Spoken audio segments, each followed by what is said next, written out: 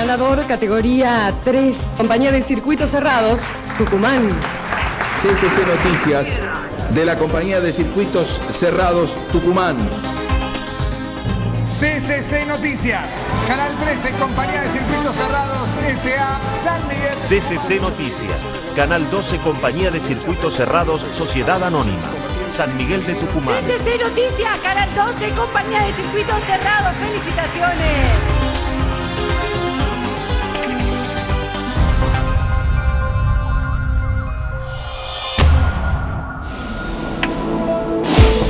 Rosana Chala, ministra de Salud, invasión de palomas en el Hospital de Niños. Marcelo Sánchez, secretario general de ATE, no quieren bonos sino reapertura de paritaria. Marcelo Herrera, intendente de Simoca, sin pacto social pero con apoyo del gobierno.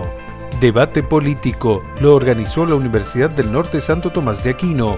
Participaron tres legisladores provinciales.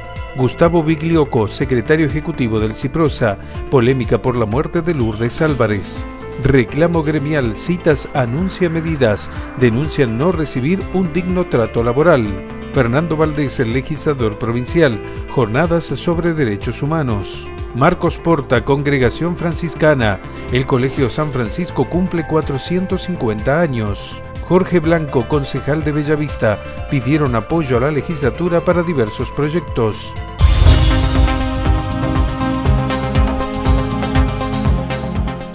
Los trabajadores de cita que hoy se reunieron con la ministra de Salud aseguran que existen riesgos para toda la comunidad hospitalaria. En el Hospital de Niños sucede lo que en líneas generales venimos denunciando, sucede en todo el sistema. No solo se trabaja en un ambiente en donde las condiciones laborables son pésimas, hemos retrocedido en relación a lo que años anteriores pasaban. El problema de las palomas, el problema de roedores, el problema de alacranes, el problema de la falta de funcionamiento adecuado de los sanitarios en todo el sistema de salud, sobre todo en el interior de la provincia, en los diferentes CAPS, en donde muchos de los colegas deben ir cada día a su trabajo portando en sus vehículos agua potable porque no tienen agua potable son y dan la pauta en definitiva, ¿no es cierto?, de lo que es una realidad. ¿En esos lugares se atienden a los chicos? ¿Ahí se atienden a los enfermos humanos? Es así, es así. Hemos mostrado, inclusive con fotos, hemos mostrado con este, información de eh, los diferentes trabajadores del interior de la provincia, las diferentes problemáticas que suceden en la gestión anterior. La hemos reiterado en la actual y la respuesta hasta ahora no aparece de ninguna manera. El funcionario del CIPLOS, el doctor Bigloco, dice de que no hay denuncias respecto al tema, por ejemplo, de las condiciones higiénicas, etcétera, en los hospitales. Mira, lo que yo te puedo decir ya eh, como infectóloga que soy es de que los problemas en salud existen la cuestión es qué es lo que hacemos para resolverlos. Si ellos no tienen la información es porque los propios directivos, muchas veces incapaces e ineptos que ellos mismos han puesto, no les transmiten. En el caso de mi hospital, esto de los alacranes bien habían asumido, yo que soy jefa de servicio ya había hecho notas el año pasado, este año, ahora este fin de semana de nuevo, sacando alacranes de las camas de los pacientes. Será que hay muchos alacranes, pero hagamos las cosas necesarias para reducir, porque si no, ¿qué tenemos que hacer? Doctora, ¿está confirmada la marcha para el próximo jueves? Así es, nosotros vamos en la calle a volver a manifestarnos. Estuve en el hospital de niños, eh, yo vivo muy cerca de ahí, eh, las, palomas están en, los techos, en realidad no transmiten la, enfermedad de la paloma, no transmite al humano. Eh, esto siempre estuvieron, no es de ahora, no transmiten el piojo. Esto no es de ahora, esto es de siempre, pero bueno, estuvimos en la sala, en la sala no, no hemos visto que estén las palomas y nosotros hacemos las recomendaciones que nos dice la gente de epidemiología nuestra, con todo lo necesario para el cuidado de evitar este tipo de... Este, de. ¿No hay riesgo para los pacientes? No, para nada. Si no habría riesgo, seríamos los primeros en cerrar la sala. ¿Y respecto de la denuncia que se hizo en Concepción por alacranes en el hospital? Eh, acabo de hablar con la subdirectora, la doctora Aida Carrizo, no tiene ninguna denuncia en el hospital de alacranes, no tiene ninguna denuncia, no está formulada ninguna denuncia. Eh, así que no sabemos nada porque en realidad ella me dice que no tiene ninguna situación que le haya llamado la atención, si no, no la hubiera hecho saber. ¿Qué pasó con la ambulancia en Arcadia? Bueno, esto nosotros pusimos en funcionamiento. Eh, eso es importante, la lectura de esto, porque no es que vamos a hacer política, entregar más ambulancias. Pusimos en funcionamiento una ambulancia que hace dos años no estaba funcionando. Eso es muy importante para el sistema de salud. Esa ambulancia había sido donada por el gobernador en el año 2014, cuando era ministro de Salud de la, de la Nación, y llegó a Arcadia a la comuna. Estuvo parada ahí un año. Cuando nosotros asumimos, nos enteramos a través del delegado que estaba esa ambulancia ahí y le dijimos que para nosotros poder manejarla dentro de nuestro sistema de emergencia del 107 tenía que ser cedida con todos los papeles en regla.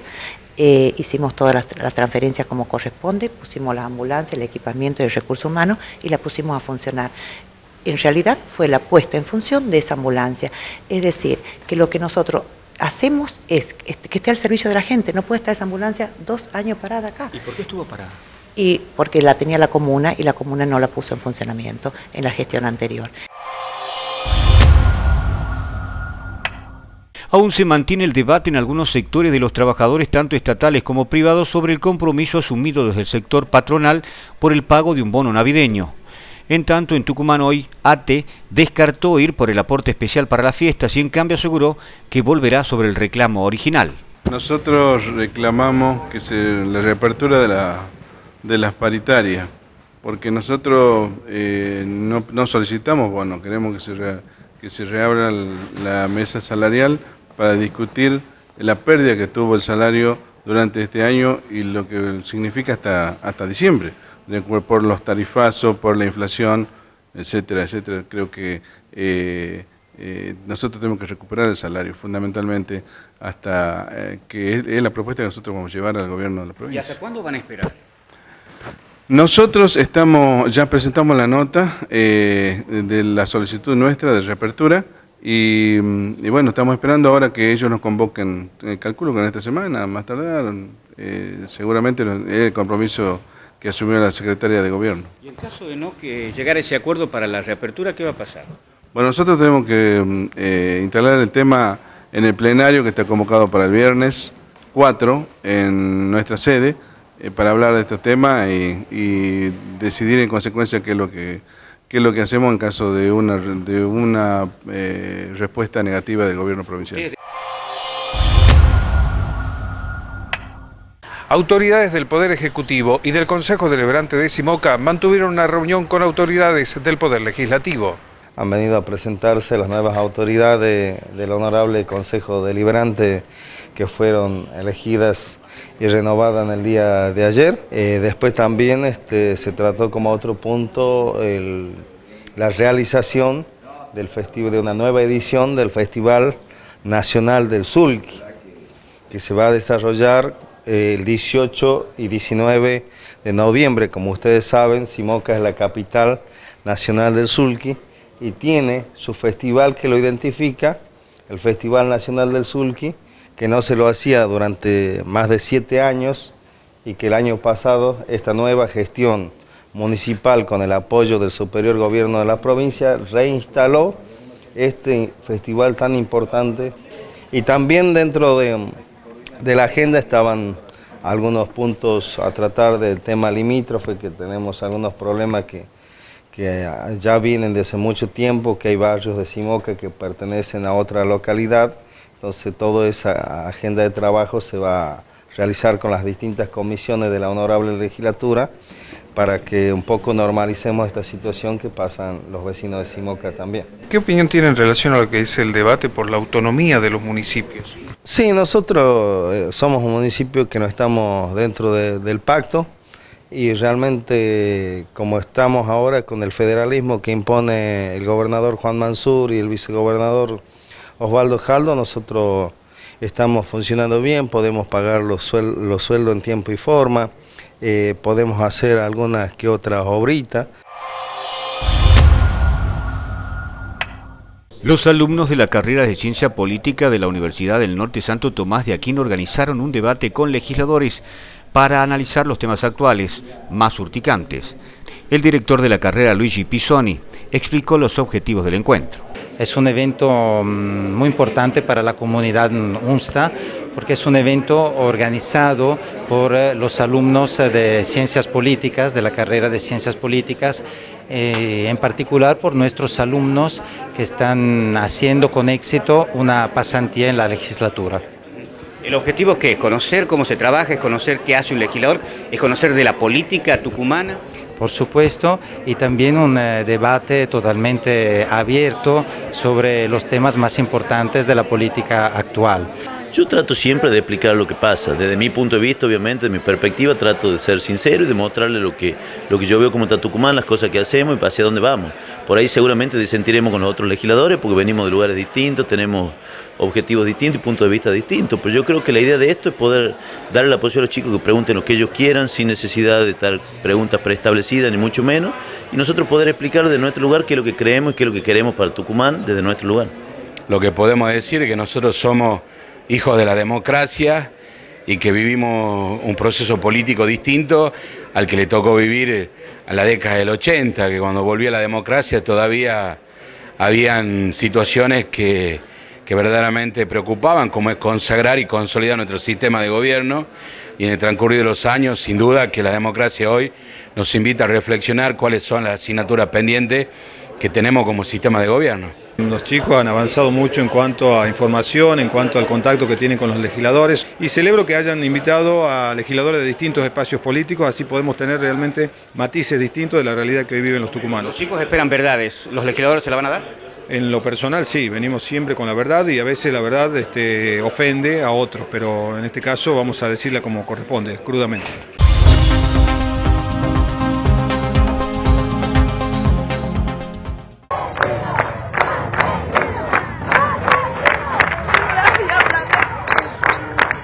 Desde el Ministerio de Salud explicaron qué le sucedió a Lourdes Álvarez, quien falleciera en la maternidad luego de ser mamá en el Hospital Avellaneda. ¿Cómo fue? La verdad estamos muy preocupados por ella. Es una mamá eh, que fue derivada de un sanatorio privado, luego de estar eh, más de una semana en un sanatorio privado, al Hospital Avellaneda. Se ingresó con problemas serios, se le practicó la cesárea, luego se descompensó y fue a la maternidad donde finalmente y lamentablemente murió por la edad de la niña. Hay una comisión, como siempre en estos casos, integrada por gente de maternidad e infancia del Ministerio de Salud de Ciprosa, que estudia qué es lo que pasó y hay que estudiar hasta las últimas consecuencias, qué es lo que ha sucedido. La verdad nos preocupa muchísimo el tema por la edad y porque es una mamá. Y cada vez que hay una muerte materna, que por suerte en la provincia de Tucumán son muy pocas, tenemos que estudiar profundamente qué ha sucedido y buscar saber la causa exacta. Recién están estudiando, la verdad no podemos decir demasiado. ¿Qué hay de cierto en eso de que la chica llegó sin la información a la maternidad? Es decir, sin los partes médicos que se entregaban desde el otro hospital. No, llegó con poca información desde la parte privada a la parte pública, la verdad con muy poca información. Nosotros no, porque tenemos el mismo sistema de historias clínicas para toda la parte pública. Entonces, desde un hospital a otro se lo deriva con, un caudal de información muy grande. Sí es verdad que desde la parte privada al Hospital Avellaneda tenía muy poca información. Organizado por la Comisión de Derechos Humanos y Defensa del Consumidor de la legislatura, se realizaron dos jornadas de capacitación denominada El enfoque de los derechos humanos en la legislación argentina. En la reforma del 94, la Argentina incorporó todos los tratados del derecho internacional humanitario y además a partir de allí son volcados en la legislación interna, leyes nacionales del Congreso Nacional y leyes locales de las legislaturas provinciales. Ejemplos varios los derechos del niño, las cuestiones vinculadas al tema de juventud, violencia de género, violencia doméstica, todas cuestiones que aparecen protegidas por, los por el derecho internacional humanitario y que son volcadas en las legislaciones locales. El tema de los derechos de los trabajadores, por ejemplo, proyectos de ley como los que hay presentados acá, vinculados al tema de las licencias por maternidad, que contemplen la realidad de las mujeres y de los padres que, reciben niños en sus familias y que son trabajadores, que se extienda a todo el periodo de la lactancia, en el caso de las mujeres. Esos son derechos del hombre, son derechos que están contemplados en la legislación internacional y que paulatinamente van siendo volcados a las legislaciones locales. Siendo una de las instituciones más antiguas de la provincia, el Centro Educativo San Francisco cumple 450 años de historia. Al año siguiente de la fundación de la ciudad se establece el convento y dentro de las actividades que se realizaban como tono misionero, evangelizador, los franciscanos adoptan esta forma, ¿no? que es comenzar a enseñar eh, la doctrina, como se le llamaba, adaptada al lugar, y la gramática. Entonces son los inicios de los que después sería la Escuela San Francisco, ¿no? hoy centros educativos franciscanos. Si bien a lo largo de estos 450 años se han cambiado las metodologías de educación, no así los principios, ¿no? Los principios franciscanos siempre fueron básicamente eh, la fraternidad, ¿no? Como el lema que tenemos que es paz y bien, ese es el lema llevarlo a la educación. Eh, ¿Va a haber actividades de celebración? El día viernes 4 realizan el acto protocolar en el mismo Colegio San Francisco, que hoy está ubicado en la calle Maipú 657. ¿no? Eh, después, el día sábado, 5 de noviembre, tenemos la Eucaristía aquí en el Templo San Francisco a las 20 horas y posteriormente el colegio ha organizado también una cena ¿no? para los exalumnos que deseen celebrar ese día aniversario de todas las promociones, de, desde que tenga uso de razón, que tenga un nieto en el colegio, que quiera participar, todos serán bienvenidos esos días, tienen que acercarse al colegio para reservar la entrada ese día la tarjeta. Las recientemente electas autoridades del Consejo Deliberante de Bellavista mantuvieron una reunión con el vicegobernador a cargo del Poder Ejecutivo, Osvaldo Jaldo.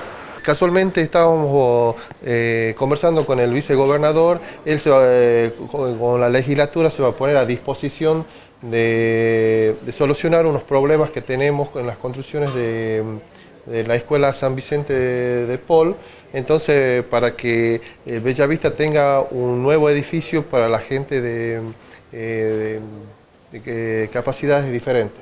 Asumió recientemente en el cargo usted. Ayer fue la elección y ayer este, ya tenemos las nuevas autoridades. ¿Qué le han pedido específicamente al vicegobernador de la provincia en cuanto a ayuda? Y, más que nada un acompañamiento eh, para que trabajemos consejo, legislatura, eh, ejecutivo en forma conjunta para eh, salir adelante por la ciudad de Bellavista, o sea, trabajando para que la comunidad crezca. El próximo viernes 4 se llevará a cabo en la sede de la Casa del Bicentenario de la capital la exposición de cuadros de la artista plástica Eugenia Jerónimo. Y empecé en el 2010 en los talleres de la municipalidad en distintos lugares. Y bueno, este un trabajo arduo día a día tratando de ver cómo podía hacer para que mis cuadros no estén en casa colgados y logré dos lugares, acá en Obispo Colombres y en la Casa del Bicentenario el día 4 de noviembre. Es mi otra exposición de 30 cuadros. ¿Desde el 4 de noviembre hasta qué fecha van a poder verlo? Hasta el día 11 de noviembre. ¿Y cuáles son las temáticas que abordan las pinturas? Y bueno, me encantan los paisajes, algo de flores, tengo un rostro por ahí, poco rostro, ya, ya lo haré. Y este, me gusta también la línea de los abstractos con un motivo, que la gente vea algo. En la Casa del Bicentenario van a poder ver una mayor cantidad de obras. Sí, en total son 32 obras que tengo.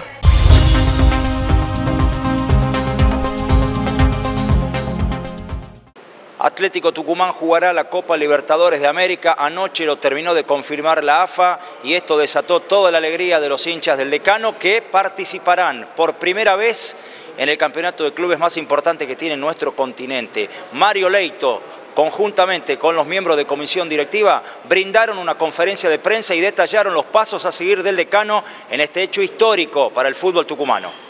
La verdad que una muy buena noticia, llega en un momento importante de la institución y es un hecho histórico. La verdad que eh, se está escribiendo páginas doradas de nuestra historia y esto es muy bueno, que así sea, porque nuestra gente se lo merecía. ¿no? Compartir alegría, mira cómo lo disfrutó la gente, ¿no? Sí, la verdad, es increíble, porque la verdad que estas cosas hay que festejarlas, como decía hace rato. Bueno, la gente acompañó mucho en esto. Este, la gente fue un factor importante cuando tuvo que salir a pedir, salió, reclamó, alentó, acompañó en los estadios. Este, la verdad que ¿Y ustedes no negociaron lo que se ganaron en la cancha? ¿Se mostraron firmes siempre? No, nosotros en ese sentido, este, los que nos conocen saben que, que, nosotros vamos a actuar de una sola manera. ¿Está preparado Atlético para un campeonato así? Bueno, a ver, este, nunca lo jugamos. Estamos institucionalmente bien, ordenados, con las cuentas al día, eh, pagando en tiempo y forma, con, eh, con mucho crecimiento eso nos da la posibilidad de que estamos en un buen momento y que podemos encarar este proyecto deportivo de la mejor manera. Los números serán otros, ¿no? Seguro, sí, seguro que serán otros, serán otras exigencias, necesitaremos, digamos, de otras cosas, que obviamente en esto lo del fútbol es, es plata. Haremos los esfuerzos que tengamos que hacer sin hacer locura, porque queremos representar a la provincia de la mejor manera. Y ahora el sorteo en Asunción, el 21 de diciembre. Bueno, me estás dando buena fecha, ¿sí? Bueno, iremos para allá. De todos modos, seguramente tomaremos contacto en forma inmediata para saber, digamos, en, en qué situación estamos, cuáles son las exigencias, de qué manera se participa, ¿no? Y vamos a ver lo que ocurrió en esta fecha número 10 del torneo Federal A, donde Gimnasia y Tiro se colocó como nuevo líder ganándole a Concepción Fútbol Club por tres tantos contra cero. Aquí están los goles del partido disputado en el Estadio Gigante del Norte. La victoria de Gimnasia y Tiro de Salta entonces con goles de Aguirre, Amieva y el tanque Silva, el ex San Martín. La victoria para el elenco salteño sobre un Concepción que quedó nuevamente en el último lugar de la tabla. Debutó Pulciano Aquino como nuevo técnico de San Jorge y empataron 1 a 1. Ahí está el saludo de Pulciano Aquino con JJ López, técnico de Juventud Antoniana. Serán los salteños quienes se pongan en ventaja con este tiro de More y el cabezazo de Romero para el 1 a 0. Pero a un par de minutos del final, Olmos con este verdadero golazo logra el empate de San Jorge Gran gol entonces del Expreso, lo vamos a ver de nuevo. Merece una repe, cabezazo de Vera, Olmos de aire por encima del arquero. El gol de San Jorge para lo que fue este empate en uno. Este, obviamente hay que seguir trabajando. Lo, que más rescato por ahí la, la, las ganas, la voluntad y, y bueno, en base a eso vamos a seguir trabajando. Falencia en, algunos lugares, pero con la voluntad y las ganas que pone este chico que hemos tenido una charla eh, eh, muy intensa y la verdad que me han respondido de la mejor manera y eso lo tengo que destacar. Como le dije, esto yo no soy, no soy mago, lo, lo, van a resolver ellos. Hicimos un esfuerzo bárbaro en una cancha en donde no se podía jugar, eh, era prácticamente un partido, un partido de potrero, ¿no? Este, pero bueno, nos pusimos en ventaja y, y como todos vieron ahí faltando poquito nos empataron una jugada desafortunada en donde perdimos la segunda pelota y, y nos convirtieron, así que una lástima, ¿no? Vamos a una nueva fecha del torneo Federal A. Le van quedando un par de jornadas y se termina esta verdadera pesadilla para los equipos tucumanos que no aguantan más desde lo económico. Bellavista y Sportivo Guzmán jugaron a puertas cerradas en la cancha de Fama y ya. Empataron 1 a 1 con goles de Antonio Ibáñez y de Valdés. Almirante Bron de Lules encarama para la clasificación, derrotó como visitante a la Astenia por dos tantos contra uno, con goles de Albornoz y de Cristian Ibarra. La Méndola, el descuento para la Astenia que debió soportar la salida del Sapo Brandán como técnico, se hizo cargo Juan Lugo. Amalia y San Antonio de Ranchillos igualaron 0 a 0, un partido parejo con acciones repartidas en ambos arcos. El puntero sigue siendo Central Norte de Salta que ganó nuevamente un partido, esta vez derrotó en Rosario de la Frontera al equipo de Progreso por dos tantos contra uno con goles de Jorge Ortega y Nico Guzmán. Padilla, el descuento para el equipo rosarino.